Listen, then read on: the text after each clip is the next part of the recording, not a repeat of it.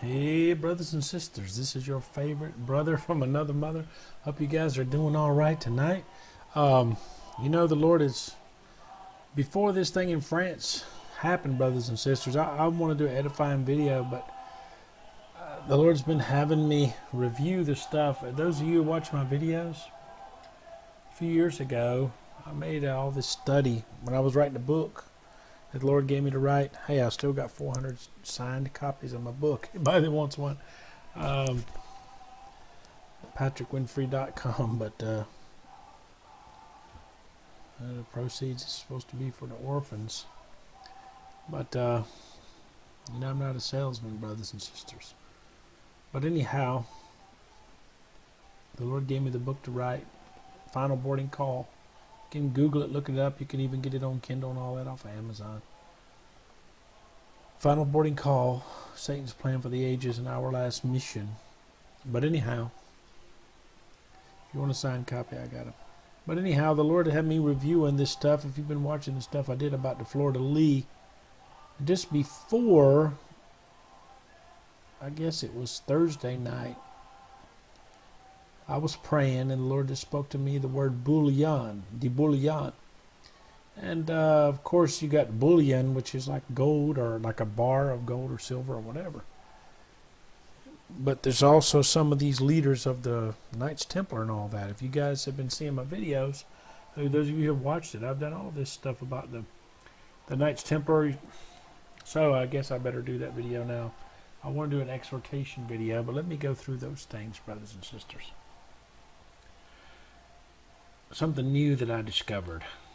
Anyway, there's some really great documentaries that the Lord led me to, and I mentioned some of them before, not related to this exact topic, but one that you sh- every Christian should see. It's called "Tares Among Wheat," uh, and there's a and it's about the translations of the Bible, which translation of the Bible to use, and you know the all that happened with that. And there's a second one too. Uh, whatever it's you'll you'll find it when you see that first one, "Tares Among Wheat." Uh, the same guy that made those, uh, his name is Christian Pinto, or Chris Pinto, they call him.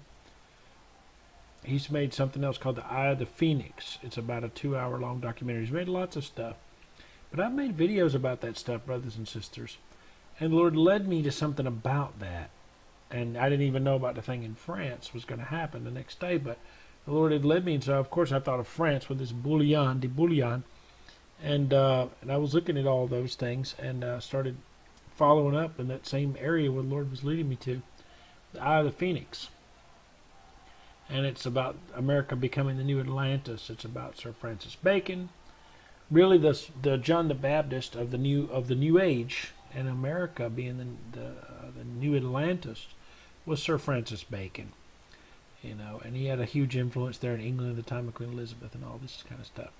But anyhow, what I've been saying and what Lord's been showing me is the greatest sign for me personally from the Lord is the number four, and uh, there's lots of things, the meaning of that, and I've talked about that before. But the greatest sign that the Lord gave me for the Antichrist, for the rise of the Antichrist, which is out of the blue, is the fleur-de-lis. And it's you know I'm not one of those that are that spooky spiritual brothers and sisters. You know I pray and I can hear from the Lord in my spirit. The Holy Spirit speaks. Jesus said the Holy Spirit will not speak of Himself John, uh, the Lord said in, in, the Gospel of John at the Last Supper.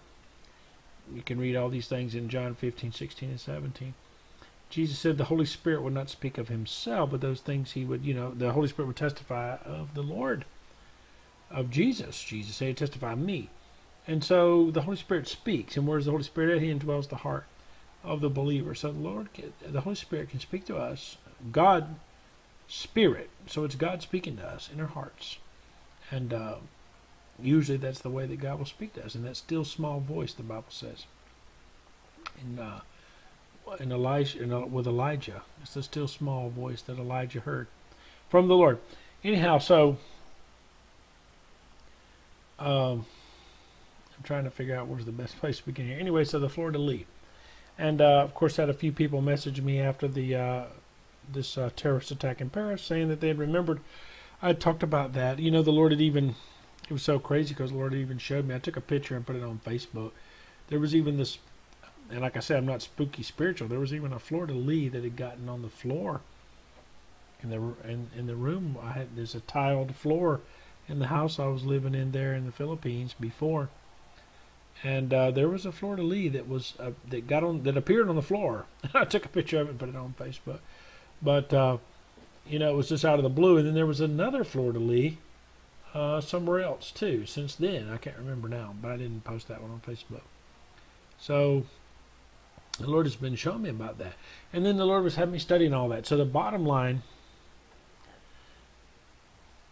and I'm going to go through all this information quickly, but the bottom line is the short version. I believe that Lord has been showing me that the Da Vinci Code and all that stuff is pointing to the bloodline of the Antichrist. It's pointing to the bloodline of the Antichrist. I've never read the Da Vinci Code. When it came out, I you know I was already in the ministry. I ignored it, you know, and the Lord just spoke to me out of the blue one day and said, "Hey, the, you know, the Da Vinci Code is a, a plan of Satan. It's a, it's it's a it's an attack of Satan on the church. And the Lord, you know, was, uh, you know, I could feel, you know, in my heart that the Lord was very upset about it. And I was like, why do, you know, I, I know it's not good, but I didn't think it was that big of a deal, but it is. The Lord was saying it's a big deal. That was like in 2001 or whatever it was. 2002 or whatever, way back then.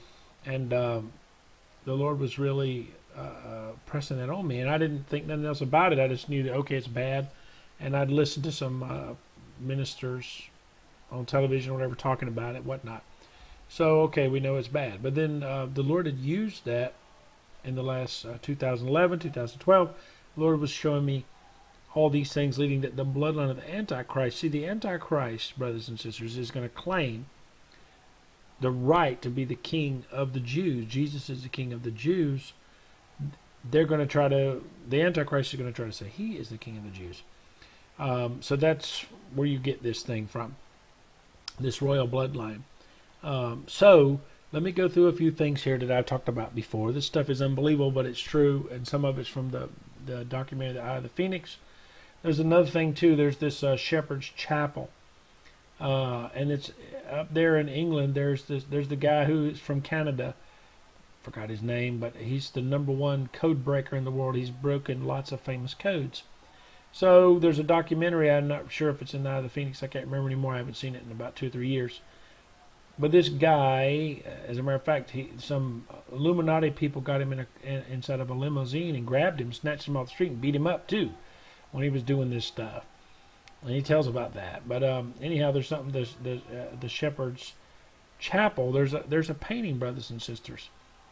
And and no one's talked about this. This part of it. What I'm about to say is is what the Lord has showed me that nobody's talked about it. I, I actually messaged Chris Pinto on Facebook yesterday, or Friday, the day before the day before this attack in uh, France. So I guess that was Friday night here. So it might have been Friday afternoon, or yeah, I guess it was Friday afternoon or late for, uh, Thursday night that I messaged uh, Chris Pinto. But anyhow, um, in that Shepherd's uh, Chapel painting, which there's a the original painting, and then there's a uh, like a uh, a plaque of it at this place up there in England. He went there and studied it. The guy that's a co cracker.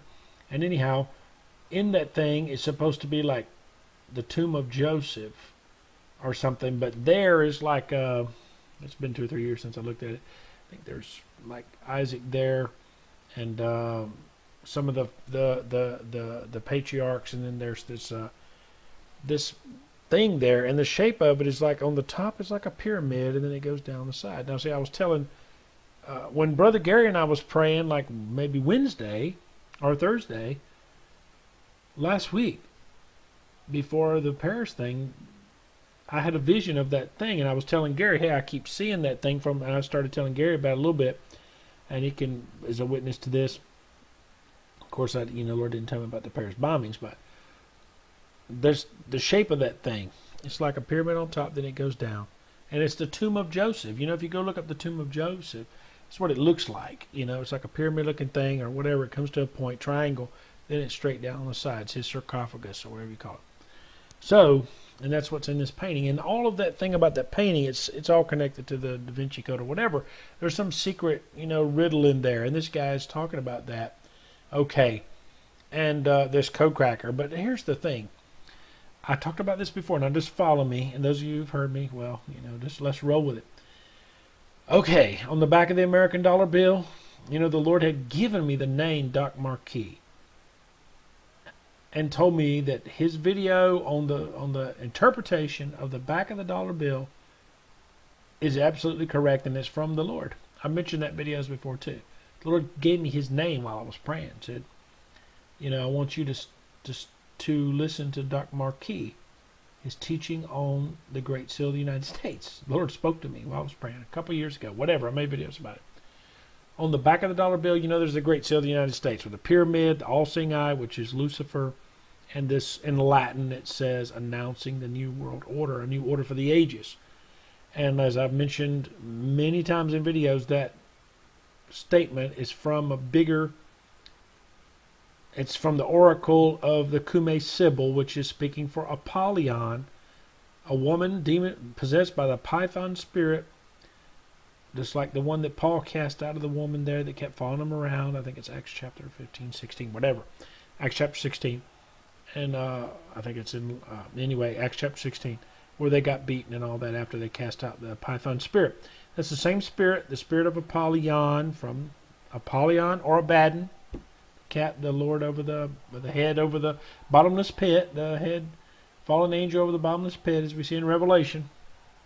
The spirit of the Antichrist.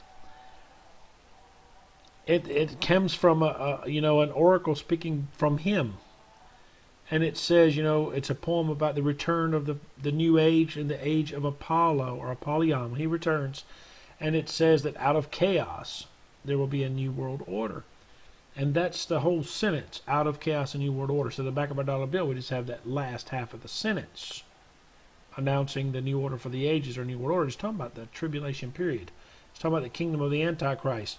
That's why you have that pyramid with the 13 steps and all that, and there's it's all about that. You can listen to the Doc Marquis. Go find it. There's a lot, you know. I Google it. Use the Google and look it up, brothers and sisters. If I spend all my time giving people, doing people's uh, homework for them, if people are interested, they'll do the, the, you know, the Google. With the Google, there's no excuse to look it up yourself. So, Doc Marquis' interpretation of what's on the back of the dollar bill, the Great Seal, and all that particularly is what the Lord told me. Now I can't endorse everything He says or not endorse. I don't know. Everything He says is exactly perfectly right, but and I'm not saying it is or isn't. I don't know, but that is because the Lord told me. And anyhow, so now the Great Seal of the United States. I mean, it's it's in that video, uh, either the Eye of the Phoenix, I think it is, or, or the Chariots Among Wheat. The seal on the back of the dollar bill was uh, you know the, the the the myth is or the rumor is is that actually a man in all dark clothes with a hood over his head and all this handed it to Thomas Jefferson while he was out for a walk while they were trying to design it. Um, and they don't know where it came from, you know, but it came from the Illuminati or whatever, or from a, a demon gave it to him, the Great Seal of the United States. And it was not really used until our 33rd president, Roosevelt. He had a Secretary of Agriculture called Henry Wallace, who later on ran as vice president. Now, Henry Wallace during the time of the political campaign, you know, people dug up dirt on Henry Wallace. And what they found out about Henry Wallace, the Secretary of Agriculture, who was running for vice president with Roosevelt, Roosevelt was a 32nd degree Mason, and he was a 33rd president. Uh, uh, Henry Wallace was a 33rd degree Mason. And he had written these letters to a guy named Nicholas Roerich. I think it's O R E H R I C H or something like that. Roerich, whatever. Um, anyhow, Nicholas Roerich was his guru, and he would he called him guru when he wrote letters to him. He called him guru. That and in their correspondence, they were saying that America would be the new Atlantis, and they needed to bring this object to the states to make it the new Atlantis. And so when they put on the back of the dollar bill, they were announcing that the United States would become really what they're saying is the kingdom of the Antichrist, the new Atlantis, as per Sir Francis Bacon, who was a Rosicrucian, and all and, and the Rosicrucians, the real Rosicrucians, brothers and sisters, they claimed to live for hundreds and hundreds of years. Which you know, I don't know about all that, but the Rosicrucians are really straight up Luciferians. And let me say this about the Rosicrucians: is the Lord had let the Lord gave me the wisdom on all this stuff, and I looked it up, and it's true. The rose is a symbol of something hitting. So a Rosicrucian is a cross with a rose on it. Now that rose represents hidden wisdom.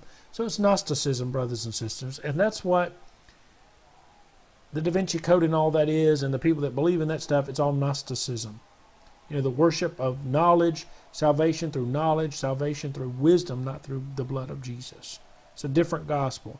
And this is the gospel of the Antichrist that you can become a God. You know, when you eat the fruit of the tree, you get wisdom or gnosis, gnosis or knowledge, and you become a God. That's what it's all about. And that's what the lie of the Antichrist, that's what will be what taking the mark of the beast is. You will become as God. The same thing Satan told Adam, uh, Eve in the garden. You can become like God when you eat the fruit. The same thing that the Mormons, FYI, the Mormons believe if you do a great job in life and overcome, you will become a God. God was a man on a planet who did so great he became a God. Jesus was a man who did so great and died on the cross, then he became a God because he was obedient to the God we know. And there's hundreds or thousands of gods with thousands of different universes, and you can also be a God by your works. That's what uh, Mormonism teaches. Anyhow, uh, just that was just FYI there, brothers and sisters. I'm, I'm trying to, you know, uh, flow with this here. So anyhow, this Nicholas Roerich, brothers and sisters, he carried around this little chest. He painted himself carrying this thing like the Ark of the Covenant or something, like powers coming out of it. There's paintings that he made of this, and it's in those videos. And it, but it's not that you know it's just a little ark. Now ark is something that carries something, so you know you could call a coffin an ark or whatever. But this is a little thing, like the ark that Joseph was carried in. I said Joseph's tomb is a big version. This is like a small version of Joseph's tomb. Like in the, I was seeing it in a vision while I was praying with Gary like Thursday night. The one like in that shepherd's chapel that I was talking about, that shepherd's painting, and it's like this and then down. But it, that you know, of course, Joseph's tomb is bit huge, whatever, for a man or whatever. But this is just a little thing you can hold in two hands. This is a little thing you can hold in two hands. This little silver engraved casket or ark that this Nicholas Roerich had, and this whole mystery of somebody gave it to him, and all this supposed to be power in it. And so their whole thing with him and Wallace talking about bringing that to the states and some kind of power in it that would, whatever, initiate the age of the Antichrist. So that that ark right now is buried in the cornerstone of a building in New York City that was owned by Nicholas Roerich. It was built with all these donations. He had all these multi multi millionaire donors. All the Illuminati, the devil's people, always does. Every cult you can think of, they always have lots of money. You know, like in the Philippines, there's a guy who says he's the son of God. Apollo Siquibalo is his name. His name is Apollo. How about that?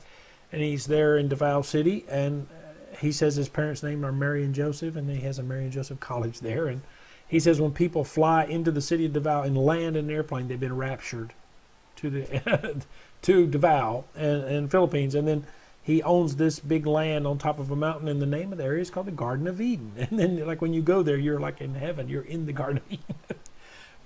There's tons of crazy people. Of course, they always have lots of money. The more crazy people are, the more people get into it, and the and the more people that the devil sends to them, and more money and fame and all those things. But anyhow, the opposite of like with Noah. You know, Noah only had his immediate family, eight people, including himself, on the ark. So by the standards of Joel Osteen and and Apollo Siquibalo and all that, uh, he would be a failure. But he wasn't because God doesn't go by numbers and popularity, but with truth. Anyhow, so Nicholas Roerich had this little ark thing, and he put it in the cornerstone of that building, and he had all these famous people came there, like supposed to be Albert Einstein and and of course Jack Parsons. You can go look him up that's a whole nother tangent I could get off on. Jack Parsons, who started JPL, the Jet Propulsion Laboratory that makes the rockets for NASA, his homosexual lover, because they were both bisexual or whatever. I think they're trisexual. They try anything, but that's just a joke. But um, Jack Parsons, being part of the the uh, the Order Orientis, you know, whatever, some of this stuff by started by Aleister Crowley. I've done, you know, I wrote about Aleister Crowley in the book that I mentioned at the beginning of this video. Jack Parsons was a disciple of Aleister Crowley, and then he had tried to raise the Antichrist through a sex. I'm saying the truth, just saying it straight out, a sex magic ritual, with a woman, and then a homosexual was activity also, and his homosexual partner, and this ritual to try to impregnate a woman with the Antichrist was the guy L. Ron Hubbard when he was young was his gay lover and all this sex magic with a woman uh, who was the founder of Scientology. I mean, these people are all interconnected, brothers and sisters. The devil's people are all connected in so many ways. So many crazy things that these people have done. And um, anyhow, um, so uh, you know they're all longing for their God, Lucifer, to rule and reign. Even as uh, I just wanted to mention this while I'm thinking about it, and I, I mentioned this many times before uh, the most famous guy in masonry in the 18th or the 19th century was Albert Pike, the co-founder of the Ku Klux Klan, along with Nathan Bedford Forrest, and also who developed the modern day Masonic doctrines of the Scottish Rite and all this. And he was a Luciferian. He also was into bestiality. I mean, he wrote about it. He he, he was uh, involved in bestiality and everything else. A total depraved, evil man who has a you know has a statue there in Washington D.C. just near the White House of him, and his bones are buried in the Masonic Temple, which is just uh, in Washington D.C. too, the National Masonic Temple there. His bones are buried in the wall of that place. Anyway, Albert Pike wrote a letter in the 1800s to the head of the Illuminati at that time, the second leader of the Illuminati, um, and his name was Giuseppe Mazzini and the word mafia, the first letter in mafia is you know it's in it's in Italian, but mafia is an acronym, and the first is his last name. Like Mazzini authorizes fire theft and arson theft and, and extortion or something, but it's in La- in Italian. But in English, we you know the initials are for mafia, uh, and that's where that name mafia came from, from his name. So Giuseppe Mancini got a letter from Albert Pike in the 19th uh, century, 1800s, and he said that there would be three great wars. And the first one, you know, is really referring to World War One, and uh, which was with the, the, you know, the bringing Bolshevikism and communism in Russia. The second one would be between the isms of uh, communism, fascism, all that, which of course we had the Nazis, and the third and final war would be between the Muslims, or they used to call it Mohammedism, between the Muslims and the Christians and the Jews and the atheists, to, that we would all be annihilated, and that we would all come to the knowledge that Lucifer, you know, that the age of Lucifer is the way to go, and that you know we need to have Lucifer as our God to introduce the age of the Luciferians. So this was Satan's plan, uh, inspired through the writing. You know, Saint Lucifer spoke through one of his big disciples at the time Albert Pike, and gave that. And that's exactly what's been happening. So the last war is what we're facing right now, brothers and sisters, that's in the plan of Satan to bring about the new world order, this third world war between Islam and you know and Judeo Christianity and all those things. And and that's that's how it's all coming together. The world is playing into the hand of Satan because they're the vast majority of our leaders, 90% or 99% of our leaders are not Christians. So they're playing right into the hand of their God. They are blinded to our God and to the truth of Christ, of the blood of Jesus Christ and the Spirit of the living God. So, this thing that the Lord showed me that was new led me to that I researched. And uh, there's there's these things I was studying at the time a few years ago about Nicholas Roerich and his little box that's buried in that under the cornerstone of a building there in New York City. I guess it's, I don't think it's is it called the Roerich Building. It's called something else. You can look that up too. The building there. It's still there in New York City, and uh, it's under the cornerstone there. And then some people died, like like his son or somebody that or the superintendent of the building. He was killed right, you know. They thought he was trying to dig into that cornerstone, but then somebody killed him down there near the where the cornerstone is, on the inside of the basement you know, the, in the boiler room. But anyhow, so it's still there, and and it's supposed to have some powers, uh, so the, you know, satanic power in it, whatever. Um, anyhow, so it looks just like the Joseph's thing. So there's a, something I'd studied back in 2011, 2012, because the Lord had actually given me the name Robert the Bruce. Now I was thinking you know, I get William Wallace and Robert the Bruce mixed up because I've never seen the movie Braveheart. I don't know why. I just never have. And uh, they did. They were contemporaries, you know, uh, basically. And so the Lord had me studying this. I was studying about William Wallace, the true story of William Wallace, and Robert the Bruce on uh, Thursday night and Friday because two years ago, 2011, 2012, the Lord gave me the name Robert the Bruce. And I didn't really study it. I just read a little bit on Wikipedia for like one minute or whatever, and William Wallace. I said, okay, now I understand they're you know they're two different people, and you know whatever the the movie was really about William Wallace, not uh, Robert the Bruce. Anyhow, I had studied in 2011, 2012 that it's possible they claim the heart of Robert the Bruce may be inside that little ark that Nicholas Roerich had. Um, because he, he said that my you know let my heart be buried back in, in Scotland. He was killed in the Crusades or whatever, and then they was trying to you know get his heart back there. So it was I believe it was Robert the Bruce. You know they were saying that uh, that his heart may be in that thing, and I was like, well, whatever. You know I didn't know. So anyway, the Lord had led me just Thursday to be studying this Wednesday or Thursday, and I was listening to this a documentary by a British historian. It was like on the BBC all about William Wallace and the history of Scotland and all that stuff. And you know, on and on and on they go And you know, BBC can be pretty boring, but uh, you know me, I like facts. But I was listening to it, and uh, they said that when this King of England, I think it's Edward the First, I can't remember the king at that time of William Wallace, because the Scotland was had been he tried to he wanted to take over Scotland and Scotland wanted to be independent and uh, what happened is after King James, and King James was from up there, you know, it's when the King James Bible was written. That's all part of it. I'm trying not to get into all of it. But uh, anyway, after King James was gone, his son had uh, wasn't able to do it, or his daughter. It ended up it going to this uh, other guy, and this guy, you know, pretty much uh, was anti-Scotland and all this, and so they had a lot of trouble there.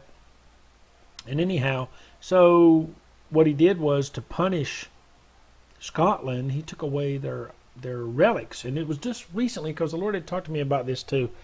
See, this all that's why I'm saying it all is coming back to me. I'm getting it all organized here. See, some people were speculating or what they were insinuating in that Shepherd's Chapel thing, uh, the painting and that carving of it, and all that is. You know, they're trying to insinuate that the pillow that Jacob rested his head on is in there. Okay.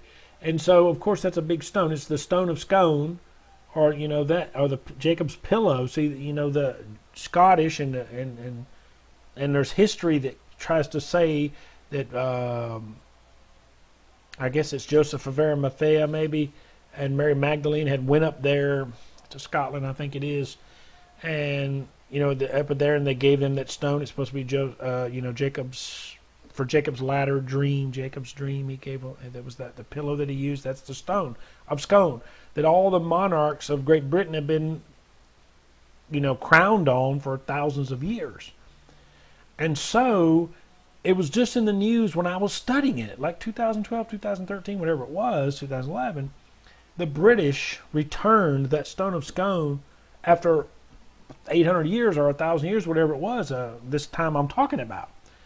You know, and I it was in the news while I was looking at it last time. So there's something to it. But of course, that stone of scone is huge and it will not fit inside that little casket thing. And uh, so, you know, that's what this guy was saying. He thought it was the, you know, the stone of uh, the philosopher's stone or the stone of scone and all that could be inside that box. They think it's a philosopher's stone. Actually, the philosopher's stone is actually alchemy, which is trying to turn lead into gold. You know, it's a thing to make that happen. Is the philosopher's stone is a is a stone you make from all you know through alchemy, but really what this the philosopher's stone is and alchemy is at a higher you know at higher levels which i've made videos about this the initiate level they tell you oh you're going to turn lead into gold. But when actuality they're trying to have eternal life. You know that's from from lucifer. You know you can become incorruptible like gold. You know these higher levels. And, and there's even more levels of that the lord showed me i can't remember. I made videos about that too but anyhow you know sir isaac newton really loved to study all about uh, alchemy too he was secretly studying alchemy and trying to make the Philosopher's Stone too. And uh, in the same time, he was trying to do the Bible code. At the same time, he was, you know, created calculus and all the other things that he did. But uh, anyhow, so one of the other they took that stone of scone, that giant stone that all the, that's go it's under when Queen Elizabeth got inaugurated, the stone of scone was under her throne when she was inaugurated. And now they've returned it back to Scotland just in the last couple of years. And uh, you know, and you know Scotland just had a vote to become independent again, but they turned it down. You know, they voted it down. Anyhow, so there's another relic that they took and I've never heard anybody talk about it. I didn't even know anything about it. It's called the Rood of Saint Margaret, and when I looked that up, you know, because they mentioned about it, and I was just, the Lord led me to look at these things, you know, out of the blue. It's been a few, it's been like two or three years since I looked at any of these things. I looked it up, and that Rood of Saint Margaret was held in a little silver casket, and the description of it is just like the one that Nicholas Roerich had it's buried in that cornerstone in New York City in that building. It's supposed to be some kind of power in it or whatever for something to do, you know, with the with bringing in the the new age of the Antichrist. You know, they're not calling it the Antichrist; they're calling it the age of Atlantis. You know, this new age and all the things they're talking is new age lingo. It's the same as the kingdom of Antichrist. All these lies, that you can become a god and all that stuff. And so the rood is really supposed to be, you know, that's a Gaelic. It's the piece of wood from the cross of Christ. It's supposed to be a piece of wood, a black piece of wood from the cross of Christ. It's in that thing of, you know, St. Margaret brought it there. And I forgot, I read just quickly who she was, but she brought that there. And they've had it for all these hundreds and hundreds of years. And then uh, that's what England took from them uh, as a punishment, uh, you know, because they were all still Catholic at that time and so they it was a relic, a Catholic relic they took from them. Uh, and and then okay, and then when you read the story about it, it says that they, it's believed or assumed that it was destroyed during the Protestant Reformation. You know, under King Henry the Eighth, they went through and, and then they would destroy all the idols in these cathedrals. They would go through the cathedrals and bust down the idols and destroy them, and all the art, you know, all of these, uh, you know, relics like Martin Luther. You know, he always when he was a, a professor there in uh, uh, Mainz, or I believe it's Mainz. Uh, Martin Luther was a you know was a Catholic priest before who you know who started uh, the Lutheran Church. Um, he wrote uh, about uh, wor- and worms. I think same time. Whatever. I'm sorry. I'm, I'm getting. Off, I don't want to get off track. I'm trying to. Don't want to waste my brain thinking about it. Anyway, uh, there were um, Martin Luther. You know, even joked about all the time about how many different relics. It was a huge business to traffic in relics. Sell, you know, the royals all wanted to buy a piece of the cross, or, you know, one of the bones of one of the apostles and all that, and they're just making a fortune off of these people. So there's a lot of fake artifacts, but there were probably people who did have piece of the cross. You know, we just don't know. And the Shroud of Turin and all that may be real. You know, there's a lot of evidence pointing to the Shroud of Turin is really legitimate. It's like an X-ray on there and everything. It doesn't. But anyhow, Anyway, brothers and sisters, that thing was, it says that it was assumed that it was destroyed during the Reformation. So it's not known that it was destroyed. It was in a little silver you know, engraved casket, exactly as the one that Nicholas Roerich had. So, I mean, it all connects with the other things that Lord had showed me. So it was just like I don't know anything more about it than what it says on Wikipedia, but it's just so interesting because Lord was leading me in all this. And it started out with the bullion. That's what the Lord gave me that, you know, and I know that um, some of these leaders in the in in, in uh, the Knights Templar. Well, of course, the Knights Templar is from France. Let me just say this. I'm talking about that. Hey, I was at 33 minutes. Ha ha.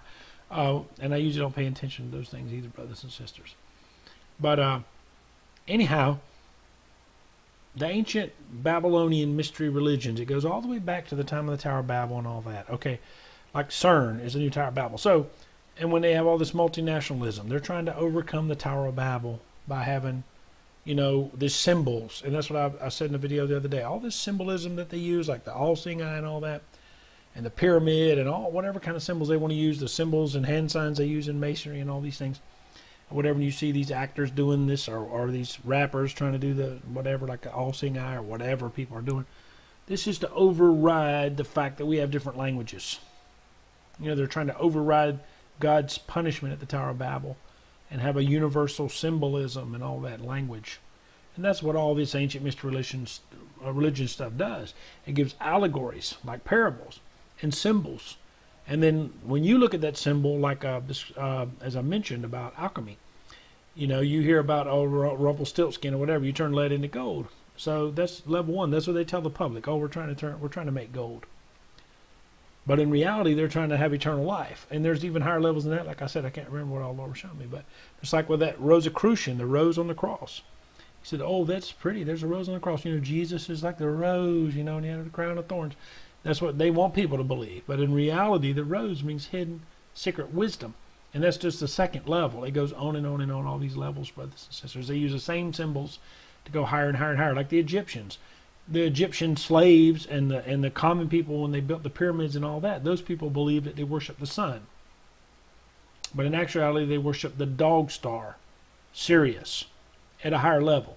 And the, you know, of course, that's Isis is the dog star, and you know, dog, the the root word of dog is Canaan, Canine, the land of Canaan, the Canaanites. This goes to the same word, same thing. It's all interconnected, brothers and sisters. It's all interconnected. Just touching on different stuff here. But that ancient mystery wisdom came forward, brothers and sisters. It came from ancient Babylon to ancient Egypt. There's more. I'm just skipping through here.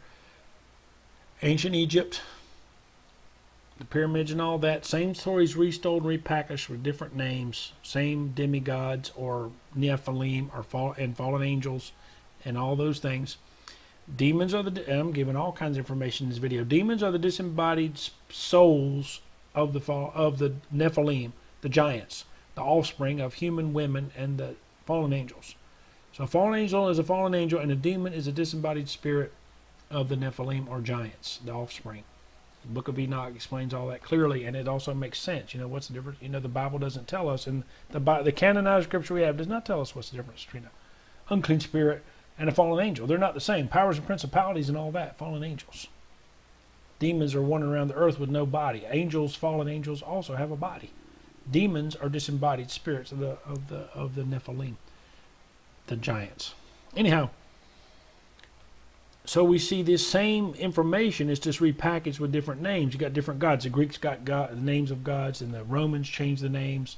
Same gods with different names. So that's why it's so complicated to follow back to Babylon, you know, Sumerian tablets and all that, and and all those things. Then you go to Egypt as an example, and there's others. Like I said, then you go to Greek, then Roman. Okay, and then from Roman, you know, we we we see this. Um, the out of those periods, then you see really uh, the Knights Templar. You know, I'm just jumping ahead here. Modern, more modern history, the Knights Templar, which led you know the ancient free and accepted Masons, the ancient free Masons, were built the cathedrals and all that, and they had to have uh, passwords and stuff to travel freely. People couldn't just travel in those days unless you were uh, um, in the Middle Ages. You couldn't just travel across and go from France to Germany as a commoner. You know, only the royalty and all that could travel. So Masons were allowed to travel, and they built cathedrals, and that's when they started using signs and passwords and all this stuff, so that they could travel freely throughout the lands. But they, what happened is in all of that, you know, because the Masons were real Masons, they really built buildings, but you have the Knights Templar and all that. They picked up all this knowledge down there from the Middle East, and you know they did. I'm just touching one branch of the things they did, but they're from France. The Knights Templar are from France with the fleur-de-lis, right? The the Knights Templar, you know, their wisdom went into the Rosicrucians because the Rosicrucians were already around too, just underground. But this same mystery religions, the same ancient wisdom of Lucifer, all the way back to of Babel, it's all interconnected. So you got the you coming forward from the from Rome, who got it from the Greeks, who got it from the Egyptians, who got it from Babylon. Going forward, Knights Templar to the Rosicrucians to Freemasonry, all the same interwoven information, same people, following the same lies of Lucifer all the way to today, brothers and sisters, same stuff. Illuminati, all it's all interconnected. All interconnected. But what they're doing is passing down information through allegories, signs, and symbols, and word, you know, and expressions and all this that they use, and it means one thing at one level and nothing at another level, nothing at another level, same words, same expression, same parable, only on higher and higher levels, brothers and sisters. Just like when you read the Bible. As brothers and sisters, if you watch my videos, you'll see how I, the Lord gives me the wisdom. The Bible is like an onion, brothers and sisters. You read that first level, then you see the second level and third level, and on and on and on. And I and I do videos like that all the time because the Lord will give me that. The Lord will give me the wisdom to do it. It's not from me. You know, as I mentioned before so many times, so many examples. As an example, like I talked the other day about when Abraham took Isaac to sacrifice him. He told, I, you know, God told Abraham, hey, go sacrifice your son. Then it says three days later they came to the mountain. So it was three days that they went to the mountain to sacrifice him. It says Jesus, you know, was dead for three days. So to Abraham, Isaac was dead for three days. But on the third day, he received him back. It says in Jude in the New Testament that he received him back as if from the dead. You know, in other words, you know, he was alive again to Abraham after the third day. He was good as dead to Abraham for those three days. God didn't do this thing by accident. They went to that mountain. It's supposed to be the same place where Jesus would have been sacrificed. They went on the mountain. Isaac carried his own wood. Jesus carried his own wood. Jesus carried the cross. Isaac said to his father, Where is the sacrifice? And his father said, God himself will provide a sacrifice. So God sacrificed himself. So it's a double meaning in there. God did provide. He provided a, a ram that day that was caught in the thicket, and he provided his only begotten son. That's why God told Abraham. Abraham already had an illegitimate son, Ishmael, who was already grown. But God said to Abraham, Take your only begotten son, take your only son, one and only son, and go and sacrifice him. God gave his only begotten son. See what I'm saying? There's so many layers to that. And how I found that was because the Lord quickened the text for me in the New Testament where Jesus is talking in the Gospel of John. I believe it's about John chapter 8 when he's in the temple and he said, uh, you know, uh, he said, Abraham saw my day and was glad in it. You know, and they said, You're not even 50 years old and you've seen Father Abraham. And Jesus said, Before Abraham was born, I am. So they tried to stone him for saying that he was I am. But in that text, he said, Abraham saw my day and was glad I rejoiced in it. So I was like, you know, when did and I asked the Lord, you know, when did Abraham see his day, Lord? So Lord let me back to that text right there. Abraham saw that. He prophesied that God himself would provide a sacrifice. So God provided a sacrifice himself. He offered a sacrifice. But he offered himself. God himself was our sacrifice. All these different levels, brothers and sisters, all these different meanings. It's so much, it's just so deep, the things of God. And then the, the devil is trying to copy that with all these layers. So the, the thing about it, brothers and sisters, things are always never as they seem. And I could go on and on because it's just connected to fleur-de-lis is also connected to New Orleans.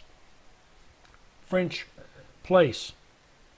And uh, as an example, when when when New Orleans, I was had one of had had two Filipino churches I was starting at that time of, of that one on Friday night, one on Saturday night.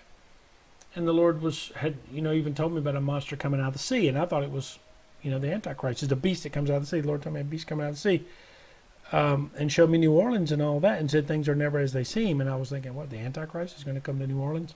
But the beast out of the sea was the hurricane, and uh, the Lord kept saying that things are never as they seem. And so I I taught to the one of both of the groups the churches I was starting, and I told them that you know things are never as they seem. So I started teaching about how New Orleans, you know, is a fun place, but yet there's you know it's like the capital of voodoo. You know, there's lots of crime there and other things, and all this you know stuff like Marie Laveau and all that. But yet New Orleans is a nice place. So things are never as they seem. You know, the Gay Pride Parade, the first Gay Pride Parade was in New Orleans. New Orleans was really the start of that. So things are never as they seem. To the world, it's like, hey, let's go party and have a good time in New Orleans, and you know that's. Uh, New Orleans is a place to go if you want to party and have a good time. But it's also all these other things I just mentioned, the gay pride and the voodoo and all that coming out of there. So things are never as they seem. But then on another level, see, I didn't know that what the Lord was telling me on another level when the typhoon hit or when the hurricane hit, you know, everybody said, hey, the city was spared. If you remember, go back and look at the news, the city of New Orleans was spared. The first day, the first eight hours or the first morning when the sun came up and all that, Oh, it's a miracle. New Orleans has been spared. Nothing's happened. Everything's awesome. Everything's cool. The hurricane bypassed the city of New Orleans. It didn't hit it directly. And then the Lord kept speaking to me. Things are as they never as they seem. See, and then I had been teaching about how you know it's on the surface to the world New Orleans is great, but spiritually it's it's, it's a lot of evil there. And that's what I was stuck on But there was another layer, brothers and sisters. See, they didn't know that the levee was going to be busted. So it, it seemed as if everything was cool, but it wasn't, see? And then the flood came. Things are never as they seem, brothers and sisters. The way that man sees things. See, man saw that everything was cool in New Orleans. It's a great place to go party, and hey, the hurricane spread the city. But in reality, there's all the voodoo and the gay pride parade, and the, they were scheduled to have the gay pride parade at that day. You know, then they couldn't have it because of the hurricane. And then they tried to redo, you know, they had to reschedule. They tried to reschedule the gay pride parade for Houston, and then the next hurricane came, went right there on the day they were supposed to have the gay pride parade in Houston the next month. See, so to the world, they're seeing something different, but God sees it in another way. That's what I'm trying to tell you in all these things. Things are never as they seem, brothers and sisters. That's what I'm trying to tell you. Like Elisha with his servant. And his servant said to Elisha, he was afraid because the Syrian army came there to arrest Elisha.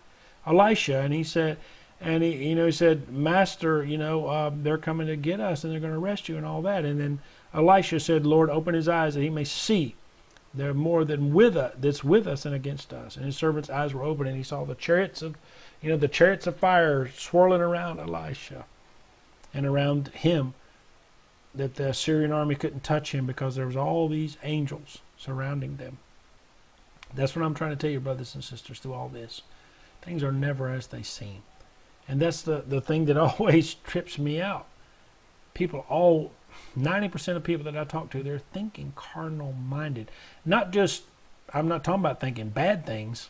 I'm talking about thinking with their natural mind. They don't have ears to hear. There's uh, I was telling Brother Gary, the vast majority of people in the church are spiritually tone deaf. They're spiritually color blind. That's why Jesus kept saying over and over and over and over again, He who has an ear, let him hear what the Spirit says to the church.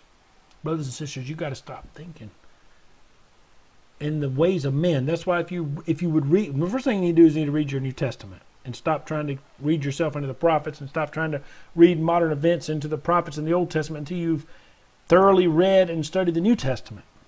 Read and study the New Testament. Paul says over and over again in there, like to Corinthians, First Corinthians, you know, I speak to you as men. I speak to you as children, you know. I cannot speak to you as spiritual things. That's why Jesus told Nicodemus, John chapter 3, when he said, A man before a man can enter the kingdom of heaven, he must be born again. John 3 3. And then he said, he goes on and on. And then when Nicodemus says, How could this be? A man be born again? He had to go back in his mother's womb a second time. And Jesus said, If you can't understand these earthly things, how can I tell you spiritual things? Brothers and sisters, the Bible says we have the mind of Christ. Let's pray right now. I've already been on here 48 minutes, and I know those who are hungry and thirsting to, for this wisdom of God that the Lord has given me to share with you, you'll watch it. So I'm going to pray for you. And so those people who are, I guess, who run into him for are probably not watching anymore. So I don't want to, I'm preaching to the choir. anyway, brothers and sisters, God bless you all right now. I speak the blessings of the Most High God upon you right now in the name of Jesus. And I speak that let thy spiritual ears be open right now in the name of Jesus. Let your spiritual eyes be open in the name of Jesus, that you might see as the Lord wants us to see, that you might hear as the Lord wants us to hear. That you may be overcomers and not deceived by the ways of man or the cunning devices of man or the ways of this world or the ways of the enemy. I speak right now that you would have complete, total, and utter victory right now over all the power of the enemy. May the Lord bless you and keep you. Hallelujah. Let his face shine upon you and give you his peace. Hallelujah, Father. We praise thy holy name in the name of Yeshua HaMashiach, in the name above every name. That the name that every knee shall bow and every tongue shall confess. That you, Lord Jesus Christ, are Lord. Hallelujah. That the Father might be glorified in the Son. Father, we praise you in the name of Jesus. Amen. Brothers and sisters, God bless you. I'm getting ready to head out. Like I said, I, ask, I want. I'm not going to ask you guys, you know, because I'm the reason why it's on my mind. I've got all these books to move. I still got like four or five hundred books. Ask you guys to pray that I can get these books sold, and I would pray, you know, because the proceeds are for the orphanage. and bought the books, you know, had it published and bought them and, and all that. I ask you guys to pray, you know, that I could, you know, have if, if people even would, if the funds would come in, I could just give the books away completely. You know, would already have the, so you know that I would have the proceeds, you know, pay for all the cost of publishing and shipping and get them all given out. That's what I want to do. Or that people would buy them, either one, you know, donate for the books. So, brothers and sisters, I to pray about that. And um, getting ready to head out next week. I'll be heading to Vancouver. I'll be at Vancouver on Thanksgiving weekend, brothers and sisters. Vancouver, Canada. And I'll be heading to the Philippines at the end of that uh, Thanksgiving weekend here in the United States. I'll be heading uh, from Vancouver to the Philippines. So I ask for your prayers, brothers and sisters. I'm praying for you. I'll still be making videos. Those of you who have been following me know I'll continue to make videos, of course. And uh, praise God. Uh, as I've already been asking you guys to pray about the orphanages, I need to find some new house parents for orphanage number three. I want to add more orphans. We had some new orphans that were supposed to be coming, and then it, the, the the father who had ran off, the mom was dead, and the father had ran off. Well, somehow the father showed up, trying to get money out of us to let us buy his kids. That's what I deal with all the time. Can you believe how wicked people are? The father had ran off and deserted his kids, and and is and is a drunk and trying to get money to buy booze to sell his kids instead of what's best for his kids, instead of being happy that his kids would have food and someone to take care of them. This is a cat, you know. Brothers and sisters, ask you to pray for all these things, and I want to thank you guys for all your support. All those who, who, who got the anointing oil that the Lord told me to make, and then used it, and you were healed and all that. Before a lot of people gave their testimony, by the dozens, I thank you for giving your testimony, feedback for me, and feedback for other people. Because lots of people, you know, they're not spirit filled people. They love to mock, you know, and all this. And I made that anointing all because the Lord told me to. Just like in James chapter 5, you know, it's a point of contact of faith. And uh, just like the books, the Lord told me to, to make them. I'm not, I'm not into selling those things. But uh, it's for the, for the church. But anyway, brothers and sisters, God bless you. You know that I love you all. Those people who are meeting me in Vancouver and Squamish, Canada, you know, um, just email me. And uh, of course, we've already been emailing in the past. Just email me again. Let me know that you're going to be there to meet. I'm thinking of one person supposed to also meet me up there in Squamish, coming from another part of Canada. Just please email me. And uh, God bless you guys. I'll talk to you all later. Uh, God bless. And I ask you guys also to pray, pray for the people of France, too, of course. Pray that God's will be done and it will bring glory to the Lord. God bless.